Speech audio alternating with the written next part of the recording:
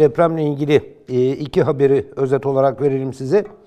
Birincisi e, işte ay dolunay oldu acaba deprem olacak mı? Amerikan gemisi geldi falan. Bilim adamları diyor ki depremin ayla ABD gemisiyle ilgisi yok.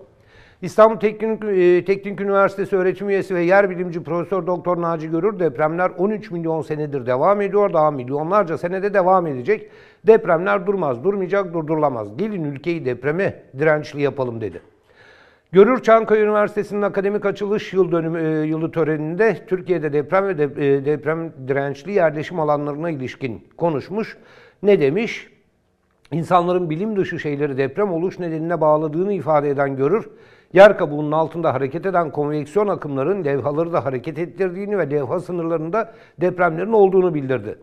Görür dünyanın iç yapısından dolayı deprem oluyor. Ay ile güneşle, bulutla, sıcaklıkla, Hart gemisiyle, Amerika'nın gemisiyle ve uçağıyla ilgisi yok dedi.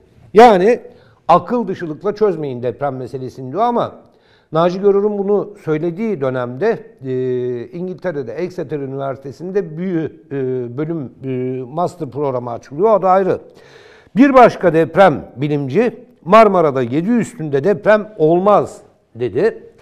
7 ve üstü tahmin edilen ve İstanbul'da korkuya sebep olan beklenen Marmara depremiyle ilgili açıklamalarda bulunan deprem bilimci Profesör Doktor Şener Üşmez Soy 7 ve üstü deprem olmayacak. Çünkü Marmara depremiyle ilgili malumatlar çürütüldü. Yegane risk Kumburgaz çukurunda da orada da 6-6,5 arasında deprem bekleniyor dedi.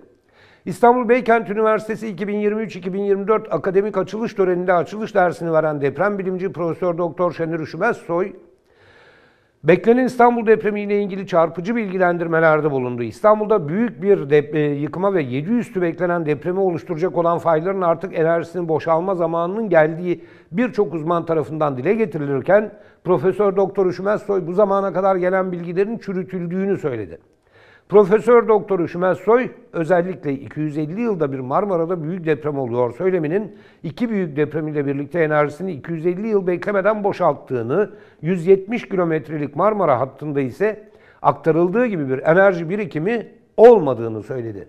Hadi şimdi kim ne söylerse söylesin ben Şener hocamı severim, sayarım, söylediklerine değer veririm. Üstelik Ahmet Ercan da ve Profesör Ahmet Ercan da aynı şeyleri söylüyor. Sadece onlar da değil diğerleri de anlatıyor. Merhaba arkadaşlar ben Halil Nebiler. Ulusal YouTube kanalına göz attığınız için peşin peşin teşekkür ederim. Eğer daha fazla video, program özeti, ne bileyim canlı yayın falan izlemek isterseniz sağ taraftaki abone ol butonuna tıklayabilirsiniz. Butonlar da aşağıda mı yukarıda mı aşağıda galiba değil mi? Heh, oraya tıklayabilirsiniz. Son dakika haberleri için ulusal uygulamasını indirmeyi unutmayın. Şimdiden izlediğiniz için teşekkür ederim.